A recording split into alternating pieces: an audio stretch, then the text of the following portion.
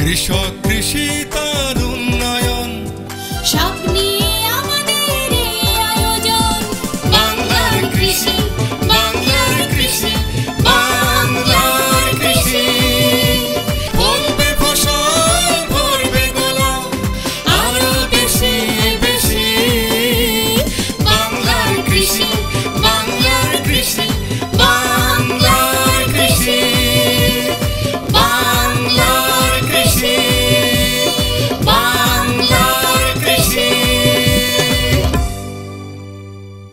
কৃষি, তথ্য, প্রযুক্তি, পরামর্শ এবং মাঠ ফসলের করণীয় সম্পর্কে জানাতেই আমাদের এই বাংলার কৃষি।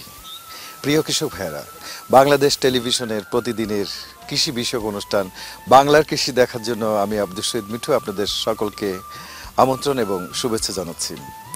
আমাদের আজকের বিষয়, নারায়ণগঞ্জ জেলার আড়াই হাজার উপজেলার রায়নাদি গ্রামে লাইন, লোগো এবং পার্সিং প্রযুক্তি ব্যবহার করে বোরো ধানের চাষ।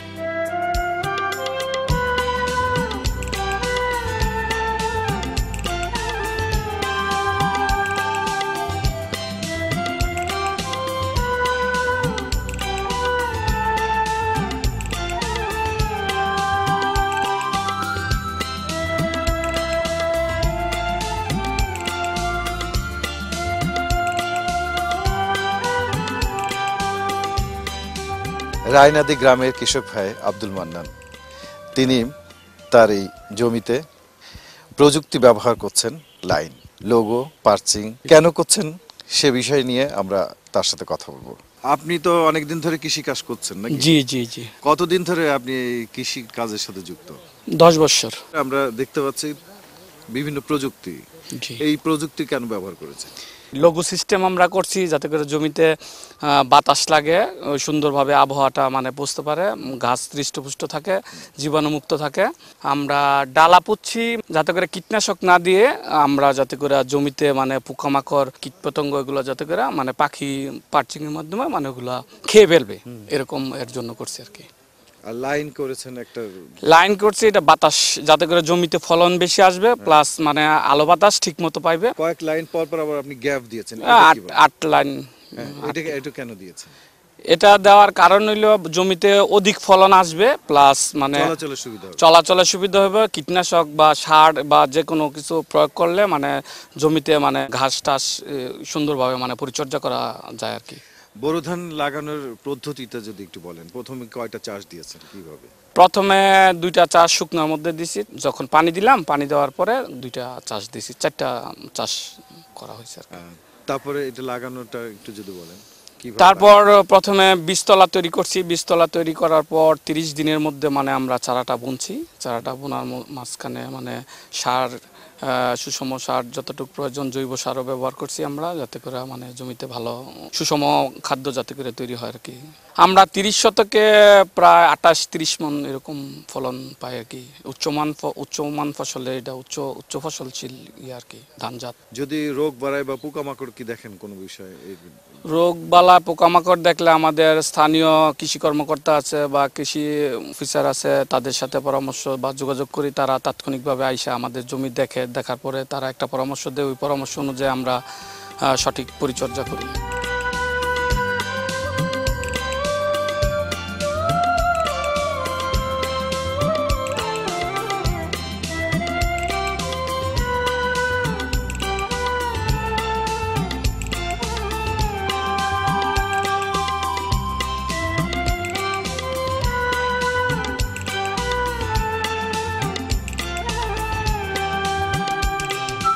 আমরা জানি যে মাটির উর্বরতা বৃদ্ধি করার জন্য ইউরিয়া বা সার ব্যবহার করা হয় কিন্তু আপনারা গুটি ইউরিয়া করছেন কেন? গুটি ইউরিয়া সাশ্রয় হয়। ইউরিয়া তিনবার দিতে হয় গুটি ইউরিয়া একবার দিলেই চলে। যে মূল্যে বিক্রি করছেন গুটি ইউরিয়া এবং ওই ওইটার মূল্যের ভিতরে পার্থক্য আছে? পার্থক্য আছে। আমাদের বানানো খরচ বেশি পড়ে এই জন্য আমরা এটা একটু বেশি বিক্রি করি।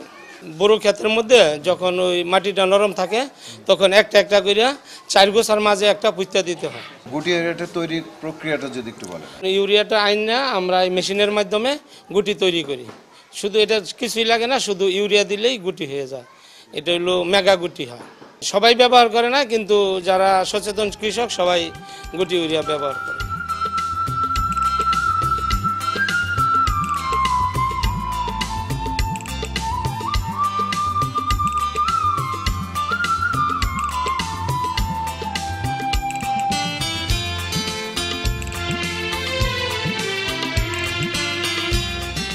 এখানে আমাদের আব্দুল মান্নান ভাই, উনি একজন আদর্শ কৃষক, আমাদের উপজেলা কৃষি অফিস থেকে কৃষি অফিসাররা এবং আমরা উপসহকারী কৃষি কর্মকর্তারা উদ্বুদ্ধ করছি। উদ্বুদ্ধকরণের মাধ্যমে উনি এখন জমিতে লগো, তারপরে পার্চিং, সুষম মাত্রা সার, গুটি, ইউরিয়া এই সকল যত আমাদের যে প্রযুক্তি আছে, উন্নত প্রযুক্তিগুলো সকল প্রযুক্তি উনি ব্যবহার করে। আজকে এই প্রযুক্তি ব্যবহার করার ফলে উনি আজকে স্বাবলম্বী। ওনার দেখা দেখি আমাদের আড়াই হাজার উপজেলায় হাইজেদি ইউনিয়নে সব জায়গায় দেখবেন যে লোগো আছে হান্ড্রেড পার্সেন্ট এবং পার্চিং আছে এবং বিষমুক্ত সবজি চাষাবাদ করতেছে কৃষক। আল্লাহ রহমতে ইনশাল্লাহ আশা করি যে আমাদের নারায়ণগঞ্জ জেলা না, শুধু সারা বাংলাদেশের মধ্যে অন্যতম একটা উপজেলা আমাদের আড়াই হাজার উপজেলা। কৃষি, কৃষির দিক দিয়ে বলেন এবং আমাদের কৃষি কর্মকর্তারা, উপসহকারী কৃষি কর্মকর্তারা এবং আমাদের যে কৃষি অফিসারদের এবং ওই আমাদের উপপরিচালক স্যার, ঊর্ধ্বতন কর্তৃপক্ষ সবাই আমাদের এখানে ভিজিট করতে আসে এবং দেখতে আসে তাদের তদারকি এবং আমাদের পরিশ্রমের ফসল আজকে যে দেখতেছেন যে আপনারা কৃষক এত স্বতঃস্ফূর্তভাবে কৃষিকাজ করতেছে, সেটা আমাদের টোটালি আমাদের সম্প্রসারণ, কৃষি সম্প্রসারণের আমাদের যে পরিশ্রমের ফসল।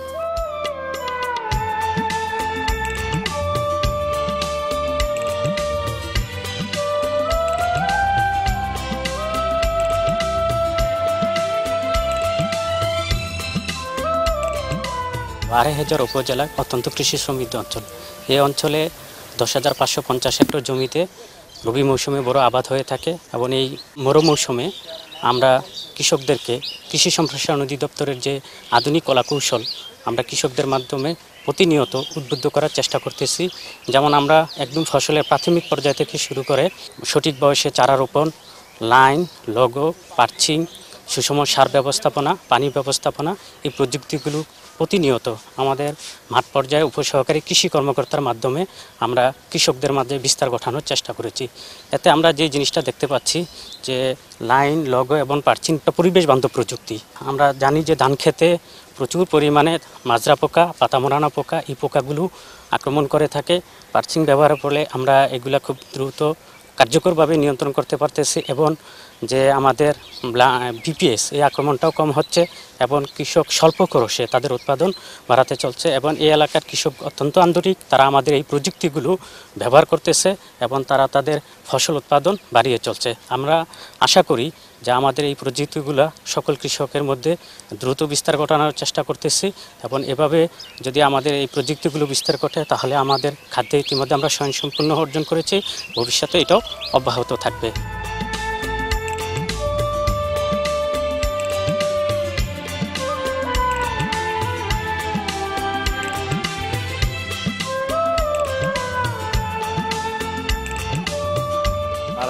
উপজেলায় সবজি ফসলের পাশাপাশি আমরা কিন্তু ধান চাষি কৃষকদেরকে উদ্বুদ্ধ করছি যে উন্নত প্রযুক্তিগুলো আছে, যে প্রযুক্তিগুলো ধান গবেষণা ইনস্টিটিউট থেকে সর্বশেষ যে প্রযুক্তিগুলো আছে, এই প্রযুক্তিগুলি আমরা কৃষকদের মধ্যে ছড়িয়ে ধানের উৎপাদন বাড়ানোর চেষ্টা করতেছি। এখানে যে আপনারা মাঠটা দেখতেছেন, এখানে আধুনিক প্রযুক্তির মধ্যে প্রথমেই শুরু করে আমাদের জমি নির্বাচন থেকে শুরু করে জাত নির্বাচন, চারার বয়স এবং সুষম সার থেকে শুরু করে অনেকগুলো প্রযুক্তি এখানে ব্যবহার করা হয়েছে। সর্বশেষ যে প্রযুক্তিটা আমরা চাচ্ছি যে হান্ড্রেড পার্সেন্ট কৃষক ব্যবহার করুক, সেটা হলো লাইন লোগো এবং পার্সিং এই তিনটা প্রযুক্তির অনেক উপকারিতা। লাইনে করলে যে উপকারিতাটা হয় আন্ত পরিচর্যা যেগুলা, এগুলা নিরানি দেওয়া, সার দেওয়া এই কাজগুলো করতে সহজ হয়। লোগো দশ লাইন পর পর যদি একটা লাইন গ্যাপ রাখা হয়, এটারও অনেক সুবিধা। কারণ আমাদের এই বড় ধানে একটা পোকা, শেষ মুহূর্তে একটা পোকা লাগে যেটা হলো বিপিএস ব্রাউন প্লান্ট হপার বাদামি গাছ ফরিং এই পোকাটা অনেক ক্ষতি করতে পারে। কিন্তু যদি লগো থাকে এবং লাইন থাকে, তাহলে কিন্তু এই পোকাটা সহজে আক্রমণ করতে পারে না। কারণ অনেক আলো বাতাস ঢুকে, অনেক জায়গা ফাঁকা থাকে এবং তখন এই পোকাটা আক্রমণ করে না। আর পার্সিং হইল আমরা করে থাকি, সেটা হলো মাজরা পোকার জন্য। মাজরা পোকার জন্য আমরা কোনো ওষুধ দিতে হয় না। যদি ডালপালা পুঁতে দেওয়া হয়, যে মাজরার মত এবং যে ডিমগুলা তারা খেয়ে ফেলে, তখন আর কিরা হতে পারে না। তখন মাজরা পোকার জন্য কোনো ওষুধ দিতে হয় না। এই প্রযুক্তিগুলি ব্যবহার করার ফলে যেমন কৃষকরা ফলন যেমন বৃদ্ধি হচ্ছে, অন্যদিকে তাদের উৎপাদন উৎপাদন খরচ কম হচ্ছে। এই জন্য কৃষক লাভবান হচ্ছে এবং এই প্রযুক্তিগুলো প্রত্যেকটা প্রযুক্তি হলে পরিবেশ বান্ধব। এই পরিবেশ বান্ধব প্রযুক্তিগুলো কৃষকরা ব্যবহার করছে। আরেকটা প্রযুক্তি হলো এই আড়াই হাজার উপজেলায় এইটটি নাইনটি পার্সেন্ট জমিতে আমি দেখতেছি যে গুটি ইউরিয়া ব্যবহার করে। গুটি ইউরিয়া ব্যবহারের উপকারিতা অনেক, কারণ ইউরিয়া সাশ্রয় আমাদের প্রায় থার্টি পার্সেন্ট ইউরিয়া সাশ্রয় হয় টেন টু ফিফটিন পার্সেন্ট ফলন বৃদ্ধি পায় গুটি ইউরিয়া ব্যবহার করার ফলে। এই জমিতে দেখতেছেন এটাতেও গুটি ইউরিয়া ব্যবহার করা হয়েছে। বোরোর সব প্রযুক্তি এখানে ব্যবহার করা হচ্ছে।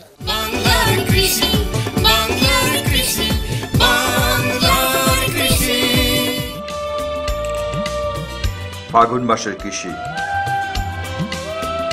সুপ্রিয় কৃষিজীবী ভাই বোনেরা, আসুন সংক্ষিপ্তভাবে জেনে নেই বৃহত্তর কৃষি ভুবনে করণীয় দিকগুলি।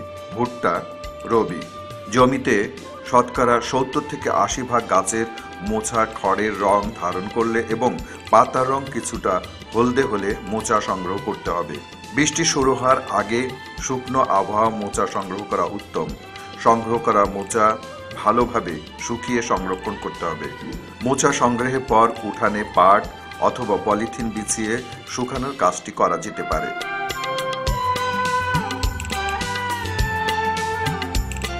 ভুট্টা, খরিফ। খরিফ মৌসুমে ভুট্টা চাষ করতে চাইলে এখনই বীজ বপন করতে হবে এবং প্রয়োজনীয় যত্ন নিতে হবে। ভুট্টার উন্নত জাতগুলো হলো বাড়ি ভুট্টা ছয়, বাড়ি ভুট্টা সাত, বাড়ি হাইব্রিড ভুট্টা এক বাড়ি হাইব্রিড ভুট্টা দুই বাড়ি হাইব্রিড ভুট্টা তিন বাড়ি হাইব্রিড ভুট্টা পাঁচ।